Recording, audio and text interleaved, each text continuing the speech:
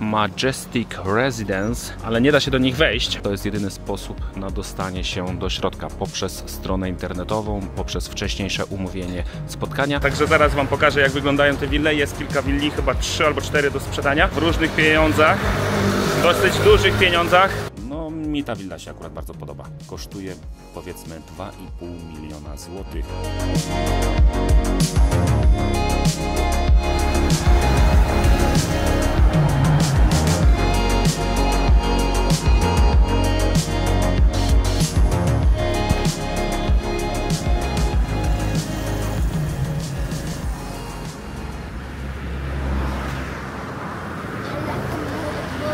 Ostatnio byliśmy zjeść na Teprasit Market. Dzisiaj przyjechaliśmy ponownie na tą ulicę, bo znamy tutaj trzy restauracje, które są na tej ulicy, jedna po drugiej, ale nigdy w nich jeszcze nie byliśmy i dzisiaj stwierdziliśmy, że przyjedziemy i pojechaliśmy do pierwszej i okazało się, że menu było totalnie tak tajskie, tak zupełnie inne niż w ogóle na każdej innej restauracji na mieście, e, że po prostu tylko sprawdziliśmy menu i wyszliśmy stamtąd i nic nie zamówiliśmy, nic tam nie zjedliśmy. No i pojechaliśmy do drugiej, ale druga okazało się, że w drugiej restauracji nikogo nie było. No to stwierdziliśmy, że jeszcze jedziemy do trzeciej, do trzech razy sztuka. No i idziemy zobaczyć, co jest w tej restauracji. Mam nadzieję, że tutaj w końcu coś zamówimy i w końcu coś tutaj zjemy, bo jesteśmy już bardzo głodni i dawno nic nie jedliśmy. Chodzimy fajnie, świeci się wszystko elegancko, trochę mało ludzi i nie mamy zielonego pojęcia co tam będzie. Cholera, ale się wybraliśmy. Całe menu po tajsku i takie przedziwne dania, że znowu prawie, że nic nie zamówiliśmy, no ale jednak chociaż papaja uratowała sytuację. Niezawodny. Niezawodna papaja jednak dała radę i uratowała nas przed kolejnym wyjściem z restauracji z pustymi rękami, z pustymi żołądkami i burczącymi brzuchami. Emi, coś ty zamówiła? patrzcie jaki wielki shake za 65 batów. 65 batów za takiego ogromnego szejka, dobry? Tylko to taki chyba nie jest zwykły shake, co? Bo on taki jest cały z lodu. To jest smoothie chyba, tak? Czy coś? No, a smoothie, no właśnie, to nie jest shake, tylko smoothie z jogurtem? No chcę, czekaj, już, próbuję.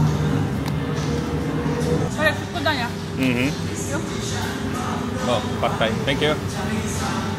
Tutaj Dorota zamówiła sobie jeszcze pad thaia, który wygląda w ten sposób. Dali w ciągu chyba 5 minut. No, wyjątkowo szybko podali dania. Bardzo, bardzo szybko. Papaja w ogóle przyszła po dwóch minutach. Ten tutaj mm, smoothie też. O, już idzie moje danie. Kurde, ja mam takie danie, że ja się nim nie najem. Emi, tego to już my nie potrzebujemy. Niech to pan zabierze. Chociaż nie, no jest ok. Dobra, to jeszcze może niech poleży. No, wygląda bardzo ładnie. Em, I to jest wołowina z bazylem i chili. I kosztowała tylko 60 czy 70 batów.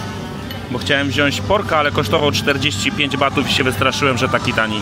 Dobra, próbuję tego. będzie zdechła świnia. No, bałem się, że to będzie jakaś zdechła świnia, co leżała gdzieś na poboczu. No, spróbuj. Spróbuj, daj znać. Lubisz w ogóle krowę? Co powiesz na moje danie? Prawie nie ostre. Prawie nie ostre, no bo ostre to jest tylko tutaj to chili. Kawałki chili są tylko ostre, czerwone. A jak jesz ryż? No wiem. Restauracja wygląda tak o. W tej, gdzie byliśmy przed chwilą, to było tyle ludzi, że ledwo stolik dało się znaleźć. Tu jest spokojniej, ale tak chyba tak przytulniej. głośno. No, nie jest tak głośno. Tam było Jezus, jak tam było głośno. Tu jest bardzo głośno, bo jesteśmy przy bardzo ruchliwej ulicy, ale tam to była masakra. Na szczęście udało się bardzo dobrze zjeść, bo moja wołowina z ryżem była bardzo dobra. Doroty pad thai też był bardzo dobry. Emma ryż oceniła 7 na 10, więc całkiem dobrze.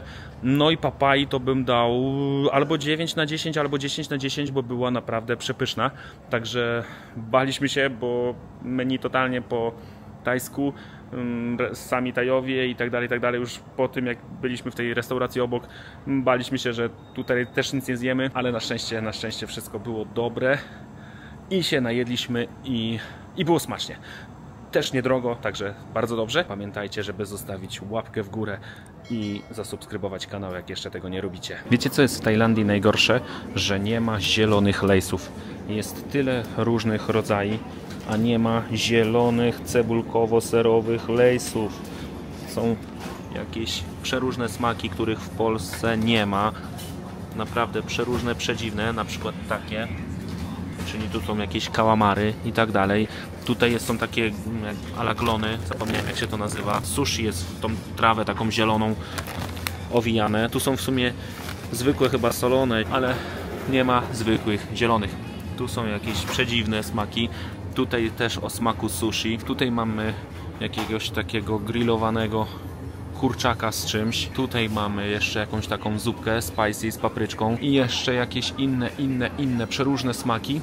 A nie ma zwykłych zielonych i czasami trzeba się wspomóc tylko takich takimi niebieskimi. To są trochę takie bardziej jak te takie w Polsce fromage, ale i tak nawet nie smakują tak dobrze jak te polskie niebieskie, a zielonych nie ma. Ale jeszcze tych właśnie nie jedliśmy nigdy, a z racji, że tu jest taka ładna czerwona papryczka i jeszcze tutaj jakaś taka też ładnie wyglądająca zupka, to spróbujemy. Dodatkowo mamy jeszcze kole do tego i dwa kubki pełne lodu. Pamiętacie film z tych dwóch wież, Peak Towers?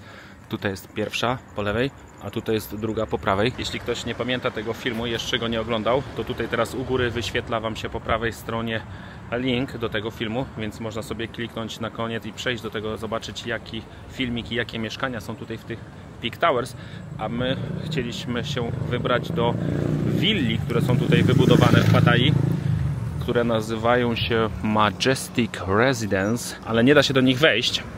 Tutaj jest takie logo. Jeśli ma się tutaj domek, jeśli ma się tutaj willę, to można sobie wjechać, ale żaden turysta, żaden mieszkaniec tutaj Pattaji czy Tajlandii w ogóle nie może się tam dostać ani wjechać, bo są szlabany zamknięte i mogą tylko właściciele i po prostu mieszkańcy się tam dostać. A jeśli ktoś jest zainteresowany tymi willami, to musi sobie wejść na stronę, popatrzeć na stronie, tam gdzieś poszukać kontaktu i ewentualnie wtedy sobie tam z kimś się skontaktować i się umówić na jakieś spotkanie, na zakup, na wynajem czy na cokolwiek tych willi. To jest jedyny sposób na dostanie się do środka poprzez stronę internetową, poprzez wcześniejsze umówienie spotkania, bo tak nikt nie jest w stanie tam wejść do środka, nagrać żadnego filmiku i przeszkadzać mieszkańcom, więc to też jest spoko i fajnie byłoby mieć tam na przykład taki swój domek i gdzie nikt z zewnątrz nie jest w stanie się tam dostać. Także wtedy spoko miejsce, bezpieczne, cisza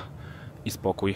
Także na pewno fajne wille tam są, a myśmy je widzieli właśnie z jednej z tych wież, które są tutaj obok i tam jak byliśmy na którymś nastym piętrze na górze w mieszkaniu, już nie pamiętam na którym, to właśnie widzieliśmy na dole całe właśnie takie pole, gdzie są wybudowane te wille do samego morza. Dzisiaj poranek zaczynamy od delikatnej burzy, od delikatnego deszczu, który tylko sobie delikatnie kropi i troszkę chłodniejszego dnia. Początek lipca przywitał nas delikatnym deszczem. No, trzeba się schować pod chociaż kawałek, co można wykorzystać, schować pod dach, bo coś tam niby pada. Pada od 8 rano. No, pada od rana. Czekaliśmy. Która jest? 15 po 12. No, 4 godziny. O, pada, pada, kropi tak sobie spokojnie. I czekaliśmy, czy przestanie, czy nie przestanie, żeby iść coś kupić do jedzenia, ale jednak nie przestaje, więc idziemy po deszczu małym. Ja z mamą byliśmy wczoraj e, w sklepie i widziałyśmy parasolki za 109 batów, dlatego właśnie też idziemy po parasolkę. No, idziemy, jak będzie jakaś parasolka, to może kupimy parasolkę. Patrz, czy ona się przyda. Nie wiem. Zaczyna się pora deszczowa, więc chyba się przyda. No właśnie, niby pora deszczowa, niby pora deszczowa, a deszczów nie ma. No dopiero dzisiaj coś kropi trochę, ale to nie można nazwać jeszcze porą deszczową. Trzeba jeszcze się przygotować na sierpień, bo No właśnie. kiedyś tam pan mówił, że w sierpniu jest najgorzej. No właśnie, no to zobaczymy, może jeszcze będzie coś więcej tych deszczy, ale póki co tej pory deszczowej w ogóle na razie póki co porą deszczową nazwać nie można, a to, że sobie pokropi jakiś deszcz w jakiś tam przedziale raz na miesiąc, no to nie można nazwać tego porą deszczową. Bardzo fajnie, Co? bardzo fajna jest teraz temperatura. No teraz jest tak właśnie, o, temperatura jest idealna, dosłownie jest idealnie, bo nie wiem, jest jakieś może 28 stopni, może 29, ale nie ma słońca. Co? Mówię, że tak jest okej, właśnie No. fajnie jest. A jakby było więcej albo mniej, to było i nie fajnie. No właśnie, jakby było mniej, to by było już za zimno, jakby było więcej, to znowu było za gorąco. A tak jest idealnie. 28 najlepszy. I ten deszcz też jest fajny, bo taki on ładnie pachnie też. Mm. Choć mi pokazuje na zegarku temperatura, że jest 30, no ale ja wiem, czy jest 30. Może jest, ale może nie. Może jest, może nie. Albo może tą żółtą chociaż. Mamy wybór żółtą, różową i niebieską. Tam jest Mamy jeszcze problem. biała, to biała O, biała będzie najlepsza, zdecydowanie. To jest tęcza ma być. Co? Będzie coś z tego? Dobra, na razie. To zostaw. Takim czymś Później będzie na razie. w domu to zrobimy. Ja wezmę jeszcze kurczaka jednego, wiesz? Tutaj na takim głębokim oleju. Piękne kurczaki. Może nie piękne, ale bardzo smaczne.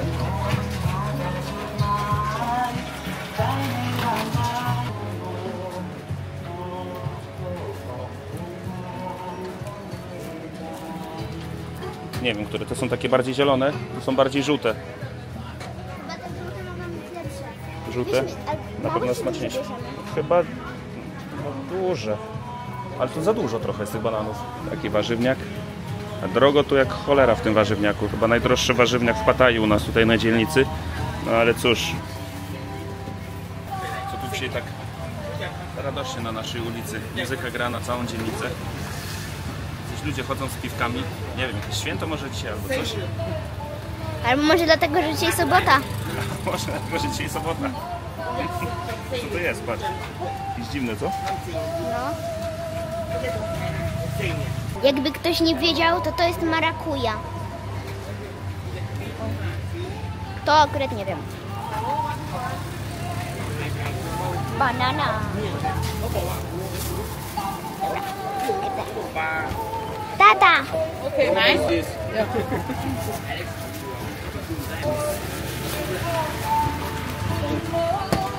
Nie wiem jak ten parasolka się znieść. Ała, kurde. Ty se poszłeś. No poszłeś se. ciebie nie ma. Emi się nie zmieściła z parasolką przy słupie i przy, przy panie. Pan stał. Wtedy musisz tak. No, Się nauczyłam czegoś. za chwilę jak wrócimy do domu, to wam pokażę te wille, o których mówiłem wcześniej i obiecałem. Tak jak w tytule filmu. Uwaga, bo Ema się nie mieści z parasolką na chodniku między słupami. Także zaraz wam pokażę jak wyglądają te wille. Jest kilka willi, chyba trzy albo cztery do sprzedania w różnych pieniądzach. Dosyć dużych pieniądzach, no ale z racji, że jest to taka z racji, że jest to taka dzielnica, e, taka część miasta i takie wille, no to muszą trochę kosztować. Jest ta moja córka, czy jej nie ma. Także już za chwilę wejdę na stronę internetową i Wam pokażę, jak to wygląda. Ok, jestem już na stronie internetowej Majestic Residence i słuchajcie, tu Wam mogę pokazać właśnie, jak to mniej więcej wygląda. To jest to miejsce, gdzie byłem wczoraj wieczorem. I tutaj jest jeszcze taki rzut z góry, gdzie pokazuje właśnie to miejsce, gdzie są wybudowane te wille. Ogólnie ich tu jest jeszcze więcej, one się tu jeszcze ciągną trochę niżej, niżej, niżej. Tylko tutaj tak zdjęcie słabo trochę zrobione, bo skupili się na niebie i morzu zamiast na tym miejscu, gdzie są wille. No ale dobra, okej. E, Więc tak to mniej więcej wygląda i tutaj jest właśnie dojście do morza, więc fajnie. Oni chyba tutaj mają w ogóle swoją prywatną plażę. E, Ci wszyscy, którzy tutaj mieszkają, chyba mają tutaj dostęp, bo, bo my mniej więcej mamy dostęp tutaj do tej plaży, a tutaj chyba nie mamy. I później tam dalej też mamy, ale tu chyba nie. Mm, I te wille oddane są w 2005 roku do użytku. I jeszcze na dole mamy pierwszą willę, która jest do sprzedania za 49 milionów batów. No duża kwota, bardzo duża kwota, bo jest to ponad 5 milionów złotych za tą willę, tylko że jest to duża, ogromna willa, która ma 4 pokoje i 5 łazienek. No, ale jest to zrobione w takim super stylu. A więc tak, mamy tutaj informację, że mamy 4 zamknięte sypialnie, 5 łazienek, no i na pewno salon z kuchnią, więc e, tyle pomieszczeń tutaj jest. Mm, Kosztuje to ponad 5 milionów złotych. No i widzimy jak to wszystko tutaj wygląda. Willa, basen i tutaj tylko takie małe podwóreczko. I to jest akurat troszkę minus ogólnie tych mm, tutaj budowli wszystkich tych willi, bo mają bardzo, bardzo małe podwórka, na których praktycznie nic oprócz tego basenu się nie mieści. No i co najwyżej jeszcze może być miejsce na ga- garaż na samochód, ale e, no więcej nic nie ma. Także trochę mało tego miejsca. Tutaj mamy zdjęcie z pokoju, gdzie właśnie widać ten basen i tam jeszcze takie coś, taką małą wiatę bym to nazwał, gdzie można sobie posiedzieć chyba jak deszcz pada albo słońce świeci, żeby się schować, choć tutaj chyba też e, mamy lekkie schronienie. No i pokój wygląda bardzo ładnie, bardzo duży, tak przestronnie, fajnie, nowocześnie, mm, z dużym oknem z wyjściem na e, bezpośrednio na basen. No także bardzo, bardzo ładnie to wygląda, no ale kosztuje sporo. Tutaj mamy garaż, więc na szczęście jest już za takie pieniądze. No i tutaj mamy chyba kolejną sypialnię, czyli widać, że to jest bardzo duży pokój z jakimś też dużym balkonem, także fajnie to wygląda. Willa jest dwupoziomowa, także jest dość sporo miejsca i tutaj tak wygląda łazienka. Tutaj kolejna łazienka, kolejny pokój, także no taki dom, o, z taką wielką jadalnią, z wielką kuchnią i osobnymi czteroma pokojami, plus pięć łazienek, no to są takie kwoty. Tutaj widać, że to jest właśnie też dwupoziomowe. No i to jest tutaj wjazd i tutaj są później te wille na lewo, na prawo, na lewo, na prawo. I tak to wygląda. Także ta willa jest ogromna, ale za bardzo duże pieniądze. Wydaje mi się, że jeszcze ta willa ma swoją siłownię, no bo tak to tutaj widać, raczej to nie jest jakieś miejsce wspólne, tylko raczej to jest jedno z pomieszczeń. No tak mi się wydaje, ale pewny nie jestem. Ok, możemy przejść do drugiej willi. Zobaczmy, jak ta druga wygląda. Druga willa kosztuje 17 milionów batów, czyli jakieś niecałe, może 2 miliony złotych. I tutaj mamy trzy pokoje i trzy łazienki i wygląda to, już Wam pokazuję jak. Tu mamy duży basen, no wydaje mi się, że jest bardzo duży, tylko za to nie mamy praktycznie żadnego podwórka, tylko troszeczkę tutaj przy samej ścianie, czyli no słabo, ale za to no basen duży. Co my tu jeszcze mamy? Tu jest chyba wejście właśnie i taki tutaj mały tylko tarasik i to wszystko całe nasze podwórko i ta willa widać, że jest w takim stylu trochę innym. Takie drewniane, stare jakby łóżko. Mm, taki styl, którego ja akurat nie lubię. Taka szafa drewniana, to nie mój styl. Tutaj mamy kuchnię z jadalnią i co my tu jeszcze mamy? Telewizor, jakiś salonik, ale ta willa jest dużo, dużo gorsza. Tak to wszystko jakoś średnio wygląda. Ta kuchnia, no fajna, niby duża kuchnia, ale no to nie jest mój styl, totalnie, to nie jest mój styl. No i tutaj zdjęcie, nie wiem jak ktoś w ogóle mógł wstawić takie zdjęcie, taką pikselozę. Przecież to nic nie widać, to już mogli lepiej wcale nie wstawiać. No ale gdzieś ta willa tutaj, któraś to jest z nich pewnie. No, wygląda to tragicznie. I tutaj mamy też właśnie w sumie taki widok na plażę. I wydaje mi się, że właśnie mm, to jest zamknięta plaża i dos z dostępem tylko tutaj właśnie z tych willi. Tutaj są pewnie te wille i tutaj jest zejście i dojście na plażę do morza.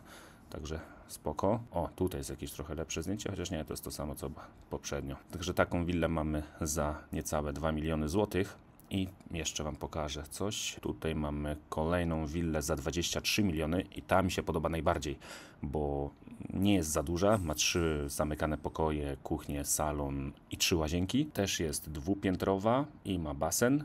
Już Wam pokazuję jak wygląda, bo jest w o wiele lepszym stylu. Mm, właśnie w takim stylu, jakim ja akurat mogę powiedzieć, że lubię. Też jest właśnie no, dwu, dwupiętrowa, to widać. Tutaj mamy takie na podwórku, także to podwórko też jest w sumie trochę małe, ale za to mamy tutaj taki fajny tarasik i tam jeszcze trochę głębiej też takie miejsce do posiedzenia. Zaraz będą lepsze zdjęcia, które to pokażą. O, tutaj właśnie jest ten stół.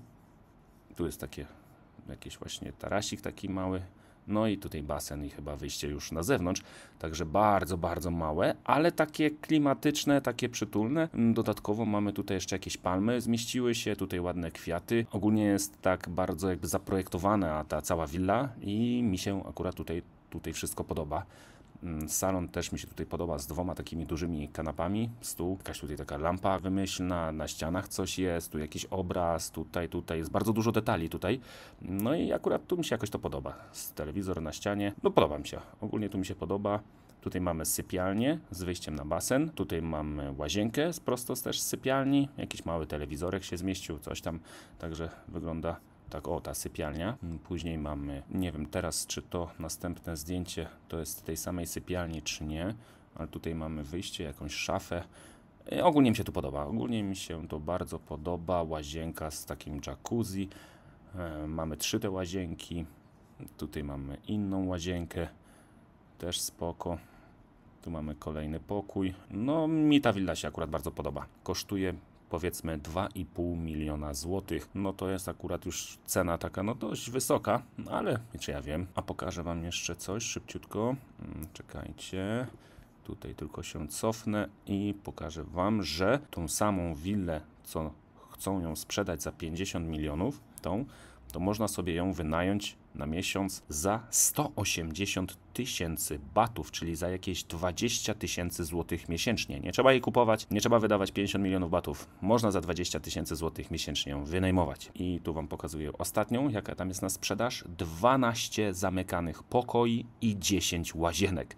No to już jest, nie wiem dla kogo i kosztuje 58 milionów i jest bezpośrednio przy plaży i ma dwa piętra też.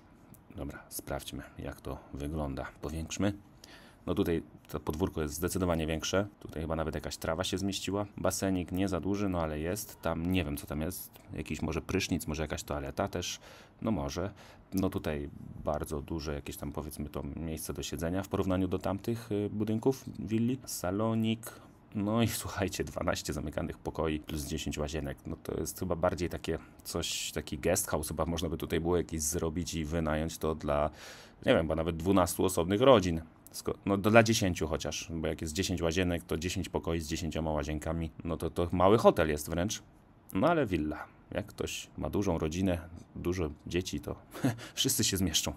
Raczej, raczej nikomu nie braknie miejsca. To jest w ogóle chyba jeszcze nowe, nie wiem, jakieś może po remoncie. Tak to wygląda. No, świetnie, ogólnie wszystko wygląda, no ale kosztuje bardzo dużo. Ponad 6 milionów złotych. No wszystko ładnie zrobione. I tutaj jeszcze jedno zdjęcie na basen. Tak to mniej więcej się prezentuje. I tutaj jeszcze rzut z góry jakiś, tylko też te zdjęcia. Jak oni mogli takie zdjęcia zamieścić? No i tutaj właśnie dostęp do morza. I to będzie jakaś jedna z pierwszych willi, które tutaj są. No fajnie to wygląda, tylko drogie. A teraz zapraszam Was jeszcze na obejrzenie filmiku o tych wieżach dwóch, Peak Tower, o których wspominałem wcześniej. I tutaj właśnie jak byłem w jednym z pokoi, w jednym mieszkań, to z góry było właśnie widać, przez chwilę pokazywałem to miejsce właśnie, gdzie są te wille, więc będzie to myślę fajny filmik na uzupełnienie tego dzisiejszego, więc zapraszam do Peak Tower. Wyświetla Wam się ikonka po prawej stronie, kliknijcie i zobaczcie kolejne mieszkania, kolejne nieruchomości na Pratamnaku w Pattaya w Tajlandii. W tym wideo to wszystko. Na razie. Hej, cześć, pozdrawiamy.